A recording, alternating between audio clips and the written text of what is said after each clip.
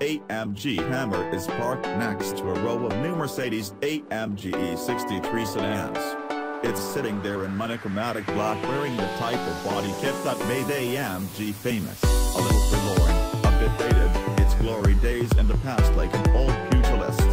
Next to the new cars, some might even mistake it for the caterer's car. Sic Transit Gloria Mundi. Except it's not the caterer's car, and I can't stop staring at it. The original AMG Hammer hasn't let go yet. Hasn't let go of me. Hasn't let go of AMG. AMG still builds the things, sort of, but now they don't call them hammers.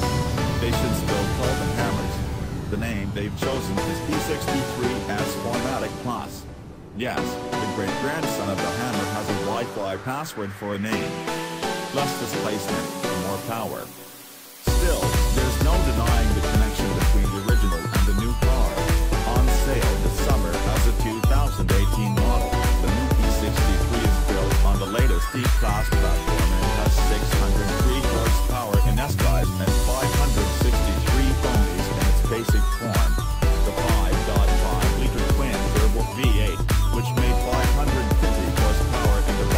Version of the outgoing car and 577 horses in the S model, is gone.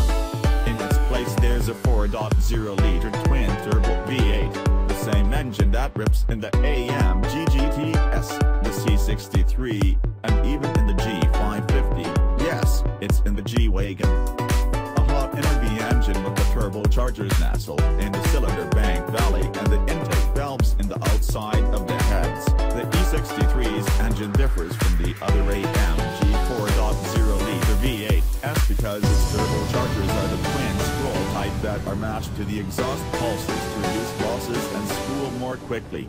Engineers wouldn't admit to any mechanical differences between the S's 603 horsepower engine and the base car's 563 horsepower tuning, which led us to assume that it's simply software that unlocks the additional 40 horsepower.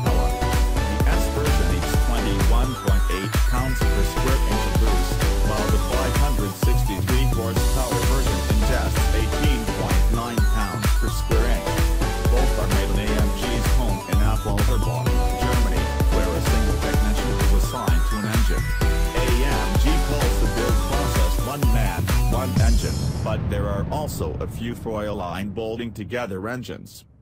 After driving the latest E63, it seems naive to have been worried about the effects of the reduced 4.0-liter displacement.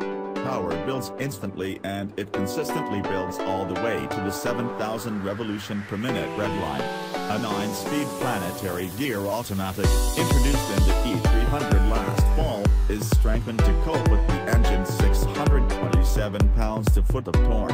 In place of the conventionally E-classes torque converter is AMG's wet multiple clutch, which delivers fairly smooth starts from a stop and allows for aggressive launch control starts. 9 is just fine. Shifts are snapped off with increasing urgency as you cycle from comfort mode to sport to sport plus and finally to race.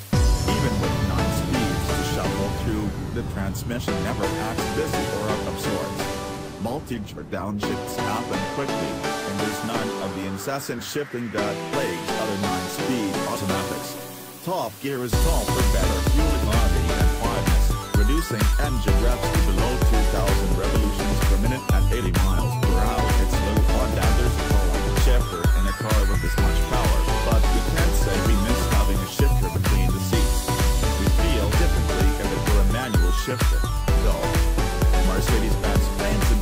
0 to 60 mile per hour time of 3.3 seconds for the S and 3.4 seconds for the base version. Launch control actuation has been greatly simplified.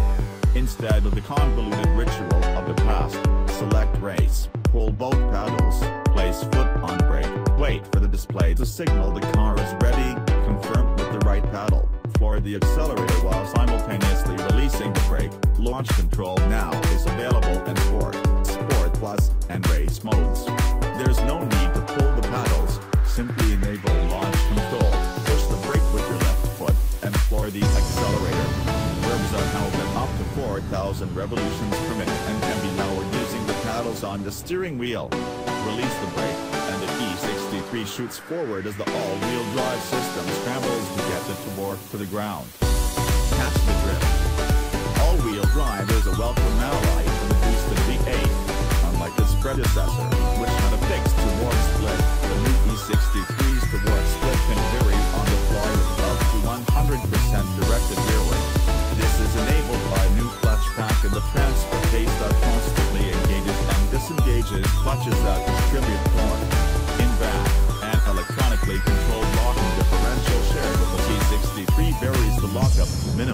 inside wheel slip in corners and, according to AMG, helps drivers approach and drive at the E63's limits. The new system allows Mercedes-AMG to add a drift mode that will send 100% of the engine's torque to the rear, making it a rear-drive car.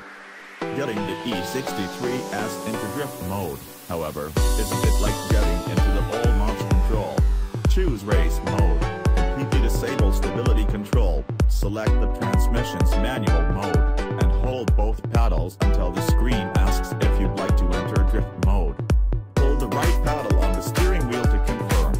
Base cars won't get drift mode, so buy the S model if you want to turn your E63 4MATIC into an E63 2MATIC. Get the sequence right, and the E63S becomes a rear drive car until you turn it off or switch modes. You didn't get to try it. In the interest of saving the 295-30ZR20 rear Pirelli P Zero tires, the cars on hand during our road drive had drift mode disabled.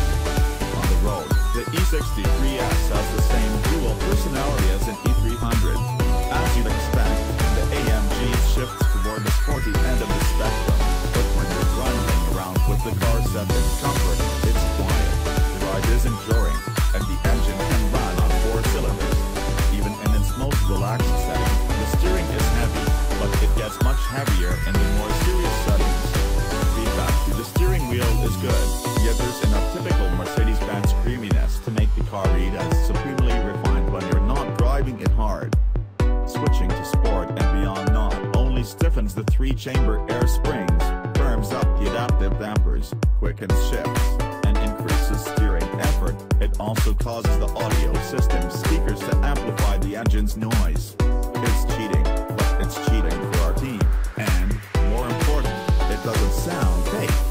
That's the V8 playing through the speakers. From the outside, the sport exhaust box with the same anger AMG's old naturally aspirated 6.2-liter V8 when under load. When cruising along on the highway, where 100 miles per hour feels more like 60,